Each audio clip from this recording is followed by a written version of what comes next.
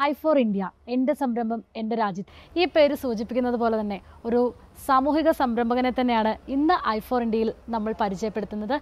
മറ്റാരുമല്ല K J Thomas. ഞാനിപ്പോൾ അത് കോട്ടയം ജില്ലയിലെ കോടിമതിയിൽ ബാക്ക്മാസ്റ്റർ എന്ന കമ്പനിയുടെ മുന്നിലാണ്. അപ്പോൾ ബാക്ക് മാസ്റ്റർ എന്നൊരു കമ്പനി അതിനെപ്പറ്റിയുള്ള കൂടുതൽ വിശേഷങ്ങളൊക്കെ ഇന്നത്തെ ഐ ഫോർ ഇന്ത്യയിൽ നിങ്ങൾക്ക് കൂടുതൽ മനസ്സിലാവുന്നതാണ്. അപ്പോൾ ഈ ഒരു ബാക്ക് മാസ്റ്റർ പേപ്പർ ബാഗ്സിനെ പറ്റിയും അതുപോലെ തന്നെ ബാക്ക് മാസ്റ്റർ എന്ന കമ്പനിയുടെ വരവും അതിന്റെ ഉദ്ദേശങ്ങളും എല്ലാം നമുക്ക് ഇന്നത്തെ ഐ ഫോർ ഇന്ത്യയിൽ കൂടുതൽ കാര്യങ്ങൾ നമുക്ക് മനസ്സിലാവുന്നതാണ്. അപ്പോൾ നമ്മളെ ഇൻവൈറ്റ് ചെയ്തുകൊണ്ട് തന്നെ ഇതിന്റെ ചെയർമാൻ ആൻഡ് മാനേജിംഗ് ഡയറക്ടർ ആയിട്ടുള്ള തോമസ് സാറുണ്ട്. നമസ്കാരം സാർ നമസ്കാരം വരൂ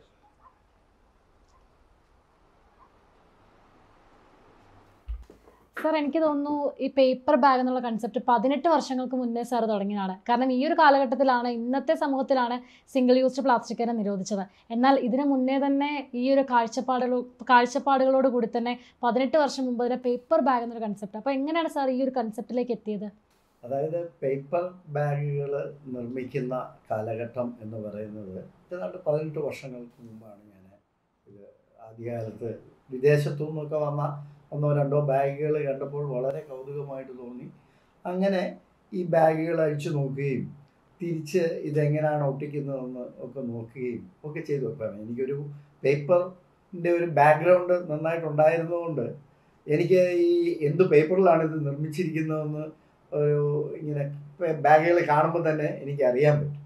അപ്പം അങ്ങനെ വന്നപ്പോൾ ഇതിന്റെ ഒരു സാധ്യത പിന്നീടാണ് അതിന്റെ സാധ്യതകളെ പറ്റിയൊക്കെ മനസ്സിലായി. ആദ്യം ഇതൊരു കൗതുകത്തിന് വേണ്ടിയാണ് ഞാനിത് നോക്കുകയും ഇത് അഴിച്ചു നോക്കുകയും ഉണ്ടാക്കാൻ ശ്രമിക്കുകയും എനിക്ക് പേപ്പറിന്റെ സെയിൽ എൺപത്തി ആറിൽ ആരംഭിച്ചതാണ്.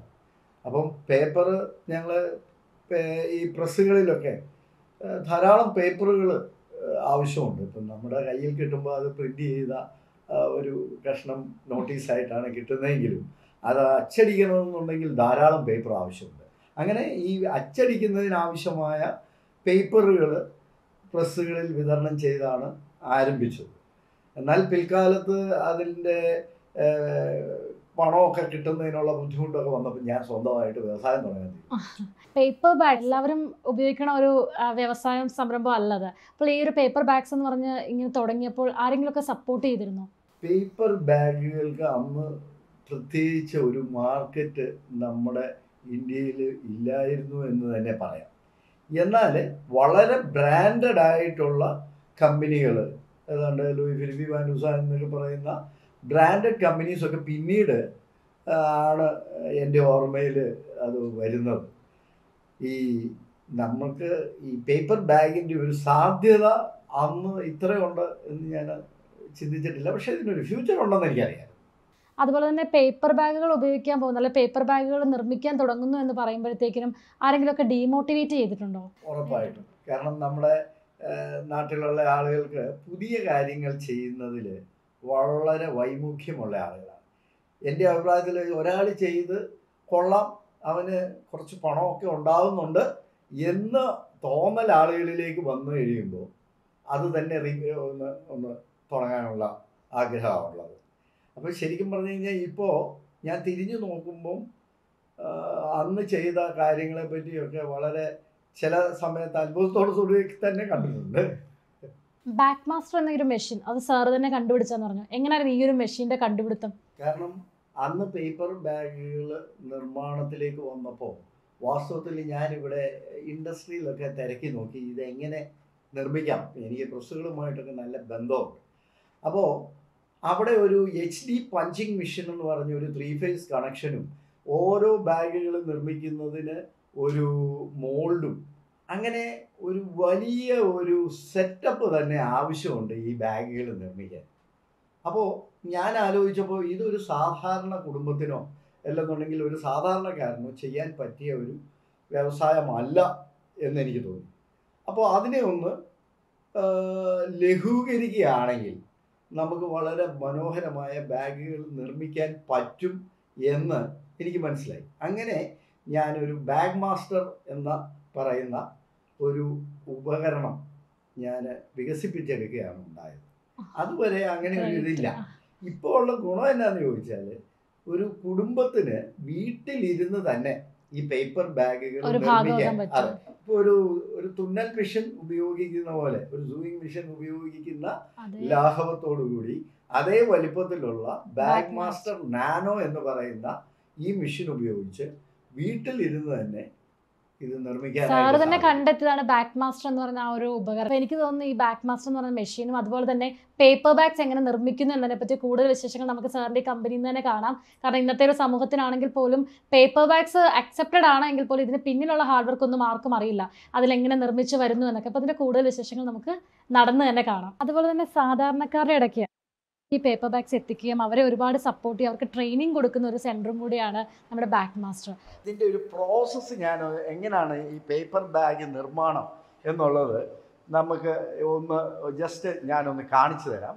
ആദ്യമായിട്ട് നമ്മൾ പേപ്പർ റീൽ ടു ഷീറ്റർ എന്ന് പറയുന്ന ഒരു മിഷൻ അതായത് സാധാരണഗതിയിൽ മാർക്കറ്റിൽ ഒരു അഞ്ച് ലക്ഷം രൂപയെങ്കിലും വില വരുന്ന ഈ ഈ റീൽ ടു ഷീറ്ററിന് ഇതൊരു മോട്ടറാണ്. ആ മോട്ടറിന്റെ പ്രസ് ചെയ്യുമ്പോഴത്തേക്ക് അത് കറങ്ങും.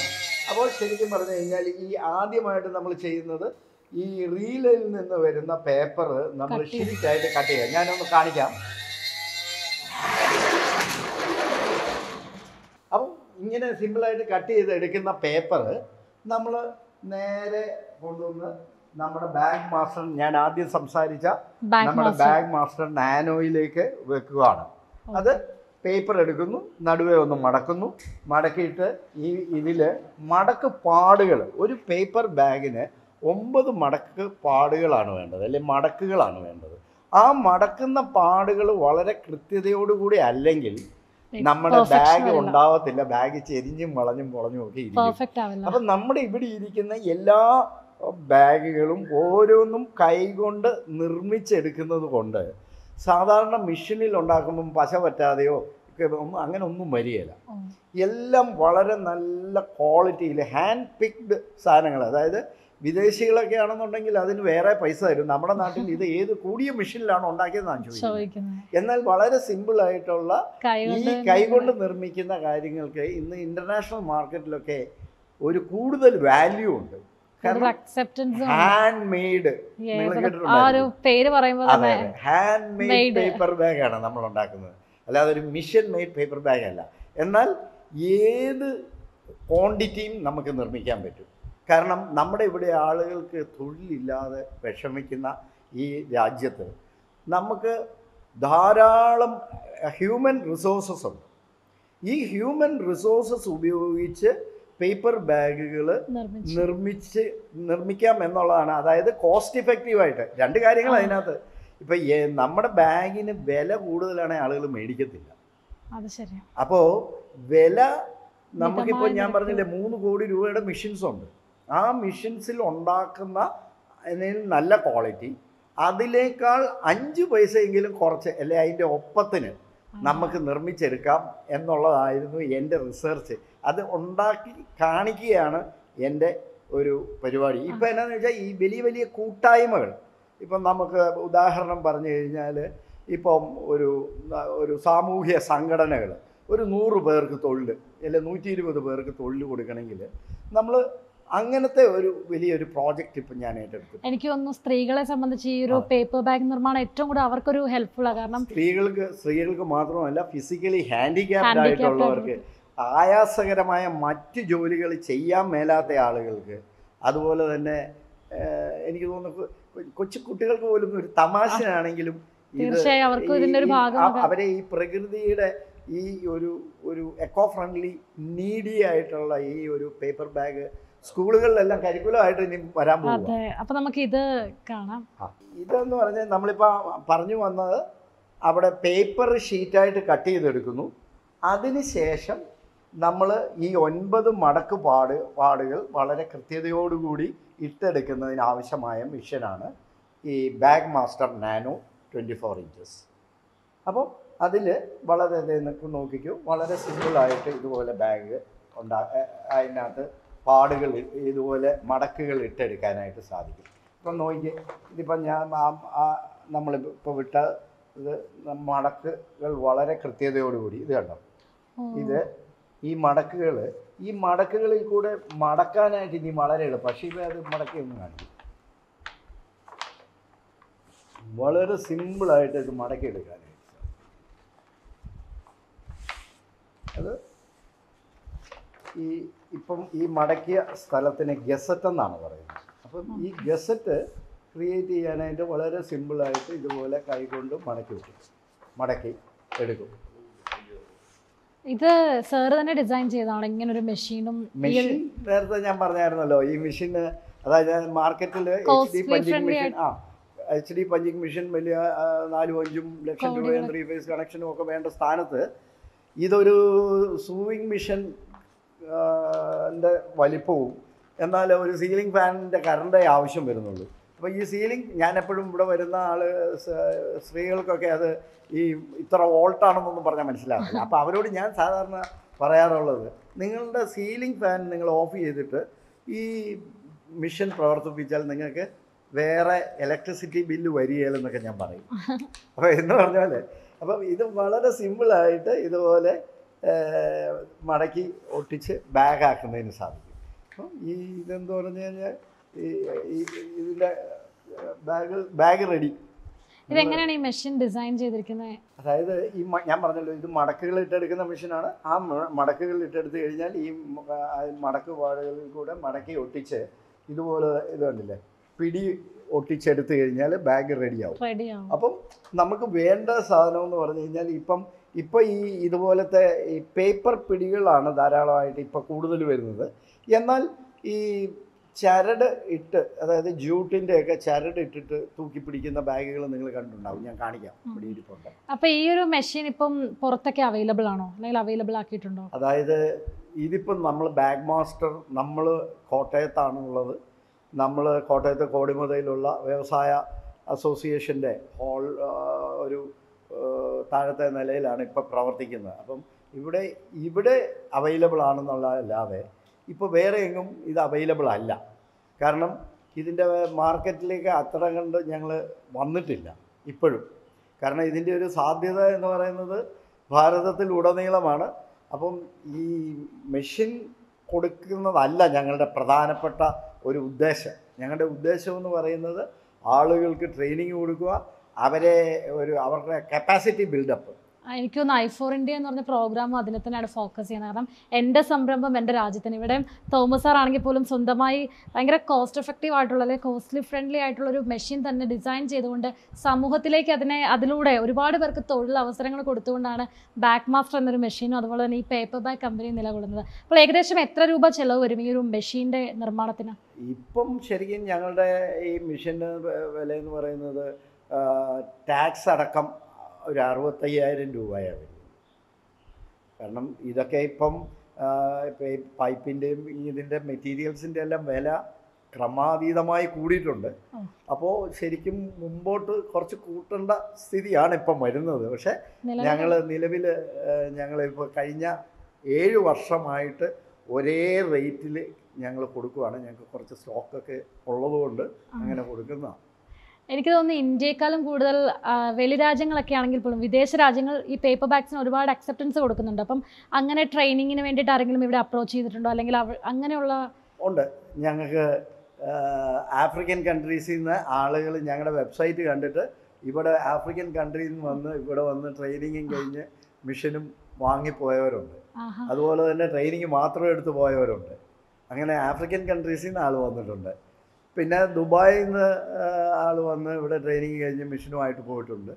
അതുപോലെ ഇന്ത്യയിലെ എല്ലാ സംസ്ഥാനങ്ങളിലും കന്യാകുമാരി തൊട്ട് കാസർഗോഡ് വരെ ഉള്ള എല്ലാ സംസ്ഥാനത്തെ ആളുകൾ ഇവിടെ വരികയും അതൊക്കെ വളരെ വിരലേലെണ്ണാനുള്ളതേ ഉള്ളൂ.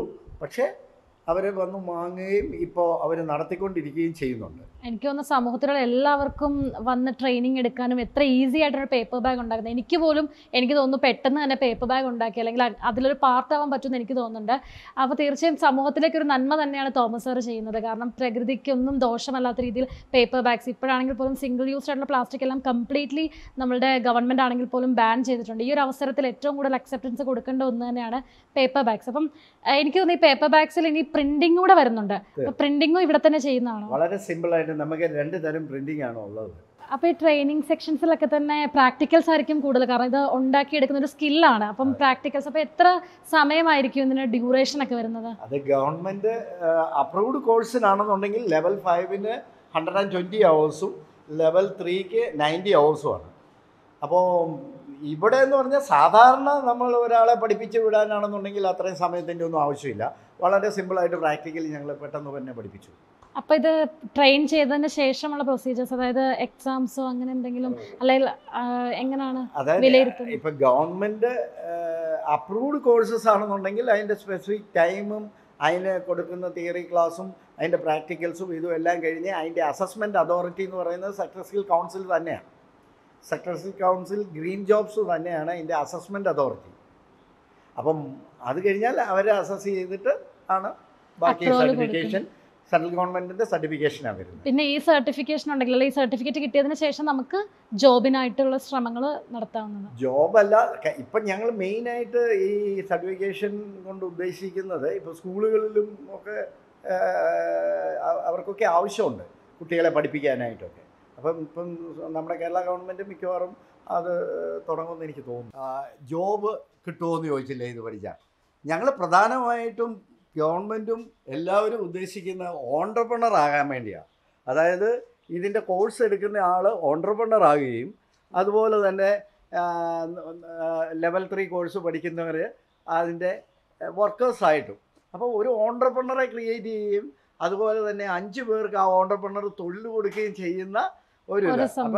തൊഴിൽ കൊടുക്കുന്ന ആളുകളെ ക്രിയേറ്റ് ചെയ്യുന്നതിനുള്ളതാണ് ലെവൽ ഫൈവ് എന്നാൽ ലെവൽ ത്രീ എന്ന് പറയുന്നത് തൊഴിൽ എടുക്കാനായിട്ട് പരിശീലിപ്പിക്കുന്നതാണ്. തീർച്ചയായിട്ടും അത് ഇൻട്രസ്റ്റിംഗ് ആയിട്ടുള്ള കാര്യം തന്നെ. കാരണം ഒരു ഓണ്ടർപ്രണറെ ക്രിയേറ്റ് ചെയ്യുക എന്ന് പറയുന്നത് വലിയൊരു ഗ്രേറ്റ് ആയിട്ടുള്ള കാരണം കാരണം ഇന്നത്തെ ഈ ഒരു സമൂഹത്തിൽ പോലും ചെറുപ്പക്കാരെ സംബന്ധിച്ച് ഏറ്റവും കൂടുതൽ ഫേസ് ചെയ്യുന്ന ഒരു പ്രോബ്ലമാണ് അൺഎംപ്ലോയ്മെന്റ് കാരണം ഒരാൾക്ക് ജോലി കൊടു നമ്മളിലൂടെ ഒരാൾക്ക് ജോലി കൊടുക്കുക അല്ലെങ്കിൽ ജോലി കൊടുക്കാൻ പ്രാപ്തരായിട്ടുള്ള ഒരാളെ സൃഷ്ടിക്കുക എന്ന് പറയുന്നത് ഒരു ഹാറ്റ്സ് ഓഫ് യു സർ കാരണം അത്രയധികം ഗ്രേറ്റ് ആയിട്ടുള്ള കാര്യം തന്നെയാണ്. അപ്പോൾ ഇതാണ് ഈ ഒരു ബാക്ക് മാസ്റ്ററിന്റെ ഗോഡൗൺ അപ്പോൾ ഇവിടെ ഇത് എന്നാന്ന് വെച്ചാൽ ഇതൊരു ഞാൻ ആദ്യം പറഞ്ഞ ഒരു കാര്യമുണ്ട്. ഇതൊരു ലൈവ്ലിഹുഡ് പ്രോജക്റ്റാണ് അതായത് നിത്യവൃത്തിക്ക് വേണ്ടിയിട്ട് ബുദ്ധിമുട്ടുന്ന ഭാരതത്തിലുള്ള ആളുകൾക്ക് നിത്യവൃത്തി കണ്ടെത്തുന്നതിനാവശ്യമായ ഒരു ചെറിയ ഒരു പദ്ധതിയായിട്ടാണ് ഒരു നാനോ ചെറുകിട വ്യവസായമായിട്ടാണ് ഞാനിതിനെ ഡിസൈൻ ചെയ്തിരിക്കുന്നത്.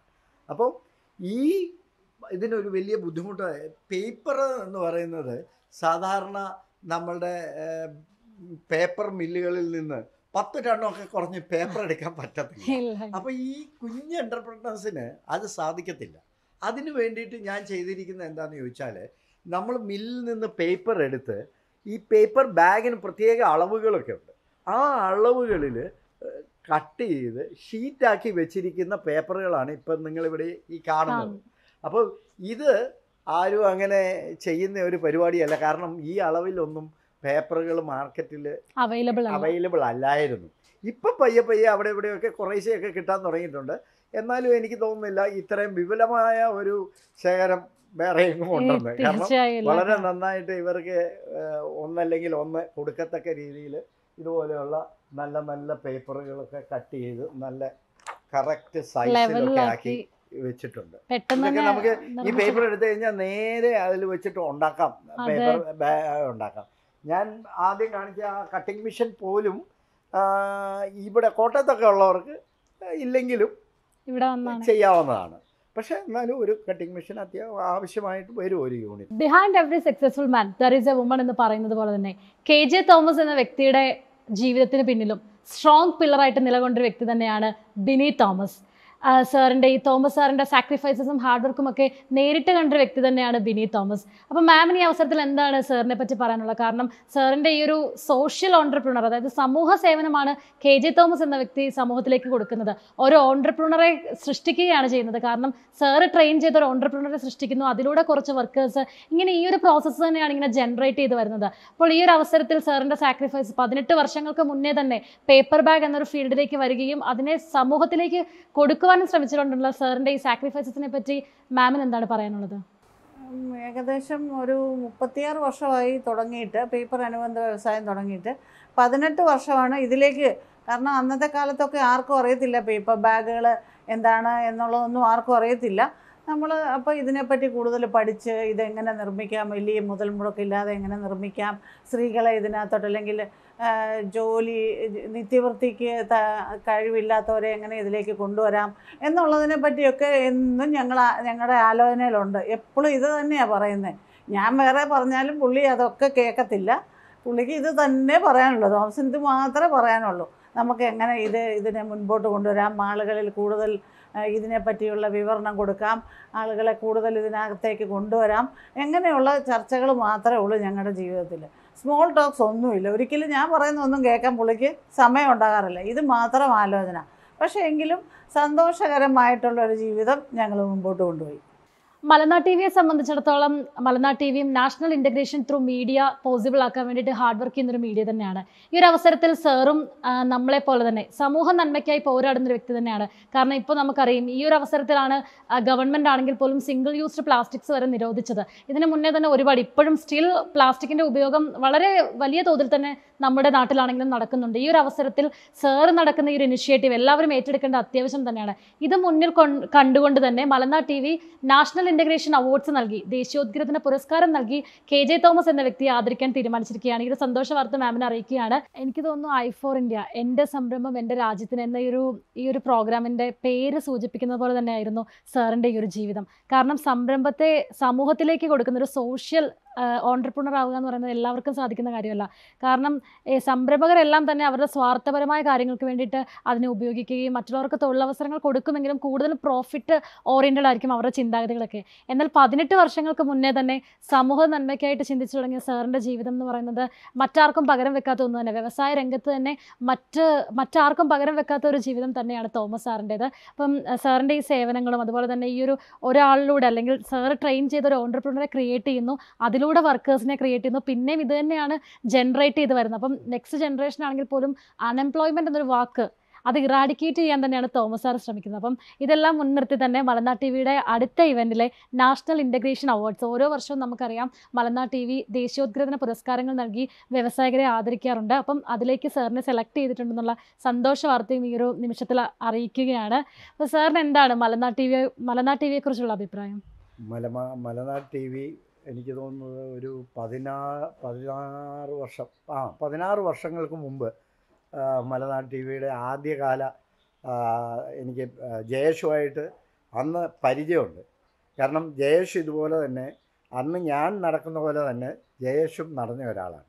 ഇന്ന് ഭാരതത്തിന്റെ ഒരു നല്ല ചാനൽ കെട്ടിപ്പടുക്കുകയും അതുപോലെ ഒത്തിരി ആളുകളെ ഒത്തിരി വ്യൂവേഴ്സ് എല്ലാ ചാനലുകളും അദ്ദേഹത്തിന്റെ ഈ ചാനലിൽ കൂടെ കാണാൻ സാധിക്കുന്ന രീതിയിൽ വലിയ നിലയിൽ വന്നത് അതൊരു ഇന്നോവേഷനാണ് തർക്കമില്ലാത്ത കാര്യം.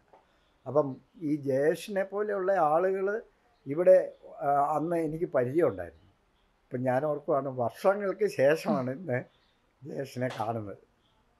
അപ്പം മലനാട് ടി വിക്കും അതുപോലെ മലനാട് ടി വിയുടെ പ്രേക്ഷകർക്കും എന്റെ എല്ലാവിധ ഭാവങ്ങളും അതുപോലെ തന്നെ മലനാട് ടി വിയും ബാക്ക് മാസ്റ്ററും തമ്മിൽ ടൈപ്പ് ഉണ്ട്. അപ്പം നമ്മളും സമൂഹം നന്നാവണം. അല്ലെങ്കിൽ സാമൂഹിക സേവനത്തെ തന്നെയാണ് മലനാട് ടി വി മുൻനിർത്തി കാണുന്നത്. കാരണം സൊസൈ നാഷണൽ ഇന്റഗ്രേഷൻ ത്രൂ മീഡിയയാണ് നമ്മളും ഫോക്കസ് ചെയ്യുന്നത്. അപ്പം മലനാട് ടി വിയും ബാക്ക് മാസ്റ്ററും തമ്മിൽ ഈ ടൈപ്പിനെ പറ്റി കൂടുതൽ സംസാരിക്കുന്നതിനായി Malanad T V managing director R Jayesh സാറിനെ ക്ഷണിക്കുന്നു. കെ ജെ തോമസ് ചേട്ടനെ കുറിച്ച് പറഞ്ഞാൽ ശരിക്കും പറഞ്ഞാൽ രണ്ട് പതിറ്റാണ്ട് മുമ്പുള്ള ഒരു ബന്ധമാണ് മലനാട് ജീവിയും ഞാനും അദ്ദേഹമൊക്കെ ആയിട്ട്.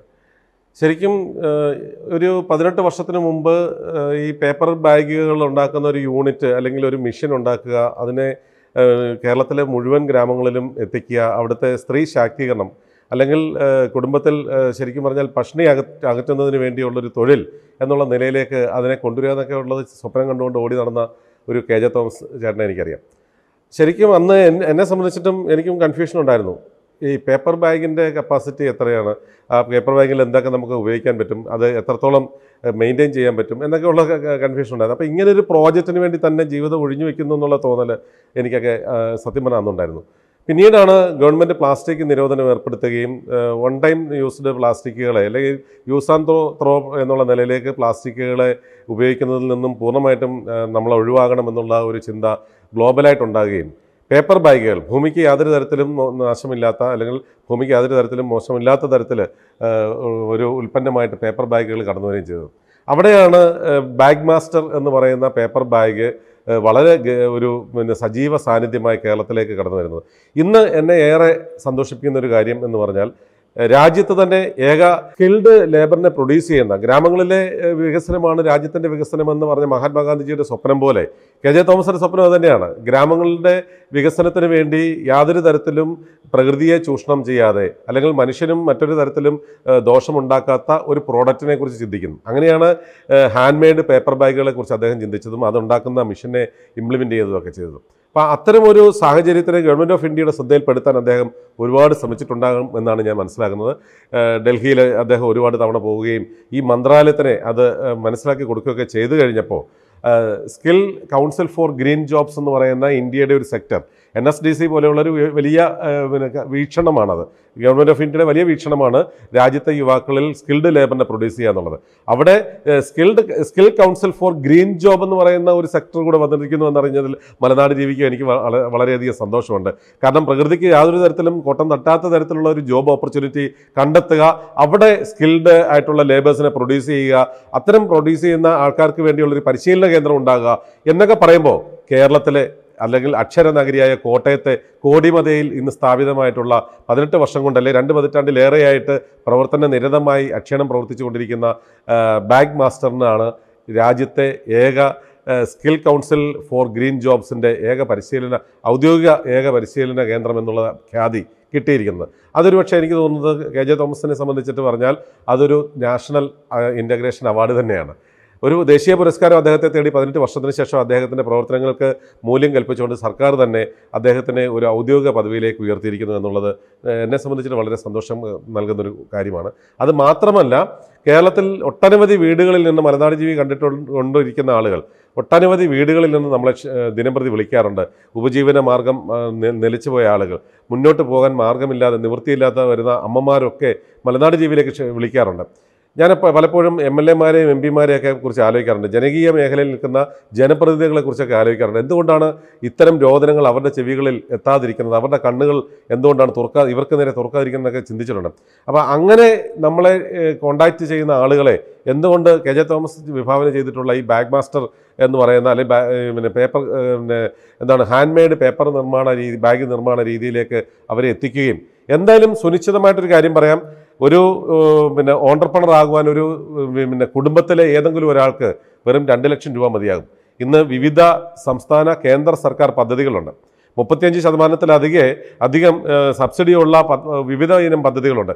ഇനി സ്വന്തം പിന്നെ കയ്യിൽ നിന്ന് പണം മുടക്കിയായാലും അല്ലെങ്കിൽ പിന്നെ പ്രധാനമന്ത്രി വികാസ് യോജന അല്ലെങ്കിൽ പിന്നെ മറ്റ് പദ്ധതികൾ പോലെ തന്നെ ഒരു കൊളാട്രൽ സെക്യൂരിറ്റിയും ഇല്ലാതെ ലക്ഷക്കണക്കിന് രൂപ പദ്ധതിയിലേക്ക് എത്തിക്കുന്ന തരത്തിലുള്ള കേന്ദ്ര വിഭാവനം ചെയ്തിട്ടുള്ള പദ്ധതികളുണ്ട്.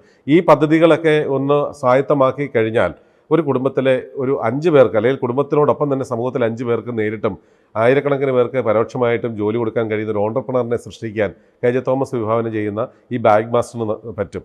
അവിടെ ഒരു മിനിമം രണ്ട് ലക്ഷം രൂപ എങ്കിലും ഉണ്ടെങ്കിൽ ഒരു ഓണ്ടർപ്രണർഷിപ്പ് ഉണ്ടാകുകയാണ്. അവിടെ പിന്നെ ഉൽപ്പാദിപ്പിക്കുന്ന ഈ പ്രോഡക്റ്റുകൾക്ക് അല്ലെങ്കിൽ റോ മെറ്റീരിയൽ വേണ്ടതിന് ഇത്രയും വലിയ ഹ്യൂജ് ഇൻവെസ്റ്റ്മെന്റ് വേണ്ടടുത്ത് അദ്ദേഹം തന്നെ ഒരു ഗോഡൗൺ ഉണ്ടാക്കിയിരിക്കുന്നു. അവിടെ നിന്നും റീറ്റെയിൽ മാർക്കറ്റിലേക്ക് ഈ പറയുന്ന അമ്മമാർക്ക് അല്ലെങ്കിൽ ഒരു ഓണ്ടർപ്രണർഷിപ്പിലേക്ക് കടന്നു വരുന്ന ഏതൊരാൾക്കും വളരെ ചെറിയ തുകയ്ക്ക് തന്നെ അവരുടെ റോ മെറ്റീരിയൽസ് കൊടുക്കാൻ പറ്റുന്നു. അത് കൂടാതെ വലിയ ഒരു പിന്നെ ഒരു ഓർഡർ അദ്ദേഹത്തിന് ലഭിക്കുകയാണെങ്കിൽ അദ്ദേഹത്തിന്റെ അണ്ടറിലുള്ള ഈ ഒരു ചെറുകിട സംരംഭകർക്കൊക്കെ ആ പിന്നെ ജോബ് പിന്നെ ഷെയർ ചെയ്ത് കൊടുക്കുന്നതിനും അവർ അവർ ഉൽപ്പാദിപ്പിക്കുന്ന ഈ ബാഗുകൾ ഉടനടി തന്നെ അത് വിൽപ്പനയിലേക്ക് എത്തിക്കുന്നതിനും ഒരു വലിയ മാർക്കറ്റ് ഇവിടെ ഉണ്ടാകുന്നുണ്ട്. അപ്പോൾ എന്തായാലും തൊഴിലധിഷ്ഠിതമായിട്ടുള്ള ഒരു ജീവിതശൈലി ആഗ്രഹിക്കുന്ന ഒരു സംരംഭകൻ ആകാൻ ആഗ്രഹിക്കുന്ന ഏതൊരു പിന്നെ സ്ത്രീക്കായാലും പുരുഷനായാലും ജോബ് പിന്നെ ഒരു ജോബ് കണ്ടെത്തുന്നതിനോ അല്ലെങ്കിൽ ഒരു സംരംഭനാകുന്നതിനോ വേണ്ടി ഒരുപക്ഷെ ബാഗ് മാസ്റ്ററിനെ ഉപയോഗപ്പെടുത്താം എന്നുള്ളതാണ് ഇതിലെ ഏറ്റവും വലിയ വസ്തുത. മലനാട് ടി വി എന്തായാലും ഈ ഒരു കാര്യത്തിൽ പിന്നെ ഓണ്ടർപ്രണർഷിപ്പിലേക്ക് വരുന്ന ആൾക്കാരെ പരിശീലിപ്പിക്കുന്നതിന് വേണ്ടിയുള്ള ഒരു സംരംഭം ഒരു സംരംഭം ഒരു ശ്രമം നടത്തുന്നതിന് നല്ല നാടെന്ന് പറയുന്ന ഈ ഒരു പ്ലാറ്റ്ഫോം ഉപയോഗപ്പെടുത്തുവാനും ഞാൻ ശ്രമിക്കുന്നതാണ്.